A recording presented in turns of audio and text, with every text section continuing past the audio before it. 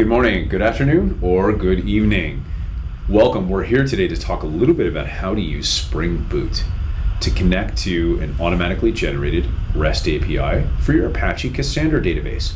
This database is hosted on DataStax Astra, our managed cloud that is built on Kubernetes, Prometheus, Envoy, and other cutting edge database technologies. So it's pretty straightforward and only takes a couple minutes. Uh, the fastest way to get going is to sign in with Google.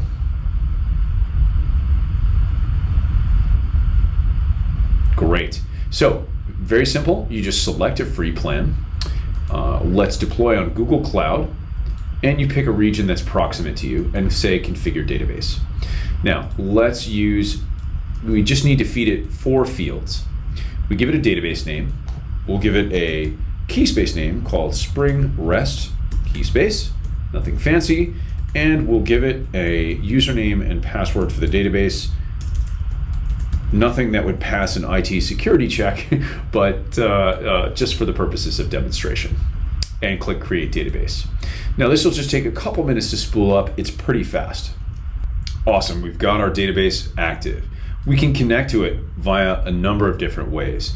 We can go directly to the CQL console and type in native CQL, which is fine, but part of the point of this is that we want to be able to use a native REST API that we're already familiar with and not have to learn CQL. We'll come back to this later.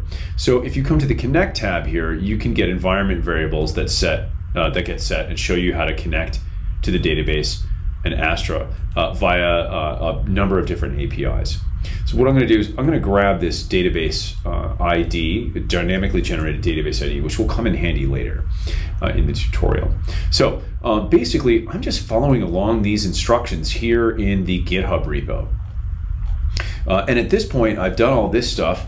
Uh, and all I'm doing, you know, is now uh, after cloning the GitHub repository, now I'm just opening this in Gitpod, uh, which is a browser-based IDE, uh, and over here in this window. And what I'm going to do is I'm going to call a shell script uh, that sets up um, sets up our database uh, using the Astra uh, DevOps API. Uh, and that's just called uh, GitHub's gitpod setup.sh. Uh, and that will ask you for a few different pieces of information. If it's the first time you've connected, it'll ask you for your um, database name, and this is the stuff you just typed in earlier to the console. Um, oh, whoops, uh, just a second. This is actually asking for the database username. Hold on. So that's that. Yep. Now we're giving it the key space name of Spring REST key space. And let's get that dynamically generated database ID that we were talking about a second ago it comes in handy right here. Now, on uh, the free tier, we always deploy on Google Cloud. So, and in this case, we remember we chose US East 1. So it gets an auth token, uses the DevOps API that's already available on Astra, uh, and creates some tables for us. Great. So uh, all that remains is we can compile and run the Spring Boot application. So let's call our Gradle wrapper and call the task boot run. Okay, there we go. Fantastic. So that compiles, and what happens is it outputs some JSON to the Spring Boot console, which I've highlighted here. Let's see if I can make that a little bit bigger. Yeah, and it spits out some Game of Thrones uh, actor names, or character names, excuse me.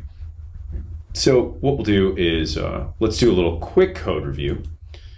And look at the AstraDB REST Spring Boot application.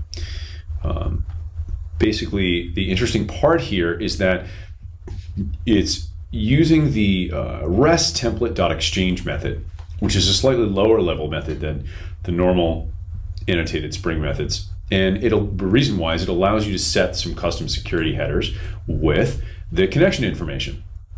Uh, and then it calls a get method here uh, and passes in this HTTP entity that you've populated uh, with the custom headers, and then uh, specifies the um, Java Bean class that the results will get mapped to, and then logs it out. to the console. Uh, so, uh, with that, let's wrap up the demo. Like any REST API, it's pretty easy to use Spring Boot's REST template to work with an Apache Cassandra database on DataStax Astra. Other automatically generated API endpoints for GraphQL, uh, JSON document API, and more will be covered in future videos. So we really look forward to your feedback, and I just want to say a quick thanks for your time. Take care, and hope to see you in a future demo soon.